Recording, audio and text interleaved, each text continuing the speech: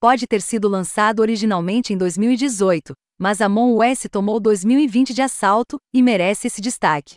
Inner Slot fez com que a diversão tensa e multijogador dos jogos de manto e adaga em pessoa, como Máfia e Verevol, funcionassem no PC, no celular e nos consoles com um floreio, e os ótimos momentos que tive matando, mentindo e investigando meu encantador mundo de ficção científica me fizeram pensar por que demorou tanto para esse tipo de jogo pegar. Ainda há alguns problemas técnicos a serem resolvidos, assim como os motores exigentes do Celd. Mas isso não me impediu de voltar a ele várias vezes no meu tempo de inatividade. A premissa de Amon US é simples o suficiente para que qualquer um possa entender rapidamente. Oito membros da tripulação correm em torno de uma nave espacial claustrofóbica de desenho animado para completar minijogos simples e preencher uma barra de progresso compartilhada.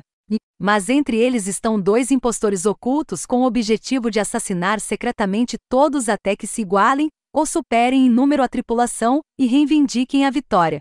E, no entanto, como tantos jogos multiplayer excelentes, é muito difícil de dominar porque se trata de enganar pessoas reais, não de jogar com uma inteligência artificial. Você não pode nem recorrer às mesmas estratégias de sucesso com muita frequência ou seus oponentes vão entender. Então, às vezes, você tem que misturar as coisas e talvez até agir de forma ilógica para mantê-los adivinhando. A arte é caprichosa, com seus astronautas bulbosos e peculiares, tropeçando em compartimentos de motores e decks de reatores que se parecem com os rabiscos que eu costumava fazer nas margens das minhas anotações da escola. Isso é eficaz por algumas razões.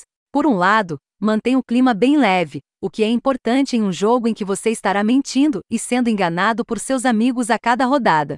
É difícil levar um ganking no meio de uma tarefa pela quinta vez para o lado pessoal, quando a animação da sua morte faz você rir depois de terminar de gritar. O estilo de arte também torna a interação com as várias máquinas e bugigangas no mapa intuitiva e agradável. Consegui entrar direto na minha primeira partida e ter uma noção decente do que estava acontecendo sem precisar de muita ajuda. As tarefas que a tripulação se apressará em completar apresentam uma boa variedade de minijogos minúsculos, desde terminar um labirinto simples até conectar fios coloridos. A maioria deles testará a memória ou a coordenação olho-mão de uma maneira que exige que você mantenha calma, o que pode ser um desafio quando você sabe que há assassinos correndo por aí, querendo seu sangue. O fato de que a maioria dos minijogos cobre uma parte significativa da tela é uma maneira realmente eficaz de criar tensão também. Até mesmo tarefas como download, que apenas faz você sentar e assistir a uma barra de progresso se encher, me fazem dizer: vamos, vamos lá. Qualquer movimento nas bordas do meu monitor pode significar morte iminente, e você sabe que impostores habilidosos usarão esses pontos cegos a seu favor. Jogar como impostor é definitivamente o mais divertido para mim, e requer uma variedade de habilidades para me sair bem. Isolar seu alvo para que ninguém testemunhe o crime é a maneira mais fácil de se safar, mas se você for pego por apenas uma outra pessoa, ser capaz de atribuir a morte a eles deitando-se no bate-papo de texto do jogo ou em um aplicativo de voz, como o Discord pode evitar que você seja expulso. Os impostores também podem usar as aberturas bem posicionadas em cada mapa para fugir da cena mas você precisa ter cuidado para não ser visto em duas salas desconectadas de uma maneira que deixe claro que você pegou um atalho. Mas também gosto de estar do outro lado.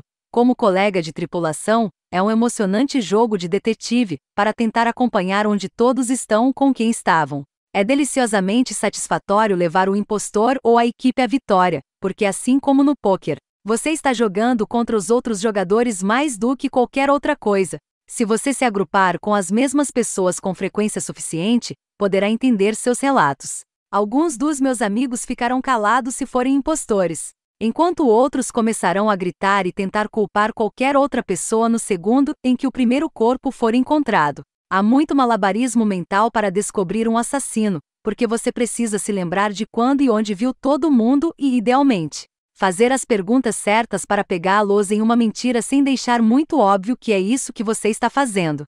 Então, você precisa fazer um caso convincente. Porque, mesmo que você saiba 100% quem é o impostor, isso não importa se você puder. Além de como eu digito e o que eu faço ou não escolho comentar. Eu posso até fazer um grande show de ter dificuldade em andar pelo navio ou não entender como as tarefas da tripulação funcionam. Saber como praticar a inocência, mesmo ao ponto de você meio que acredita que é inocente, é uma grande habilidade para se ter. Mas é uma estratégia comum o suficiente para que, se você exagerar neste ponto, os jogadores experientes entenderão. Então, às vezes eu tenho duas identidades falsas. Uma que é óbvia demais, e outra que eu quero que meus oponentes descubram e pensem que essa é a camada final. Mas é de meleca. Os jogos mentais podem ser muito profundos, e eles são minha parte favorita entre nós. Funciona tão bem em parte porque o mapa padrão, uma nave espacial chamada The Celd, é muito bem equilibrado. Há um layout inteligente circular, uma mistura de gargalos e espaços abertos, e espaço suficiente para os impostores manobrarem sem serem vistos. Se você não estiver olhando para eles no momento certo. Os outros dois mapas, Mira HQ e Polus, são um pouco fragmentados e espalhados, o que pode dar uma grande vantagem aos impostores. Isso não foi um problema muito grande para mim, no entanto, porque a grande variedade de opções de jogo permite que você ajuste as coisas a favor da tripulação ou dos impostores com alternâncias como votação anônima e confirmação do papel de alguém quando eles são expulsos. Isso também oferece dificuldade flexível ao jogar com um grupo de assassinos mais ou menos experientes. Há alguns problemas técnicos, ainda, Encontrar uma correspondência pode ser frustrante, pois o navegador desajeitado e datado mostra apenas um número limitado de lobbies por vez. Pode ser complicado encontrar jogos que ainda não estejam cheios ou que estejam muito longe de chegar lá. E o fato de que não há nenhuma mecânica para punir os jogadores que desistem quando não conseguem jogar como impostores ou são pegos no meio de um assassinato.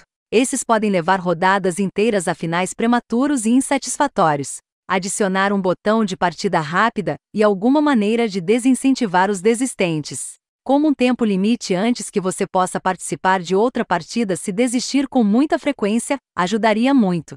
Sem mencionar o suporte de bate-papo por voz integrado. A Mon OS faz jus ao hype criado por sua explosão tardia de popularidade, em sua maior parte. É um estilo de experiência multiplayer intensa e refrescante, que simplesmente não pegou digitalmente antes recentemente.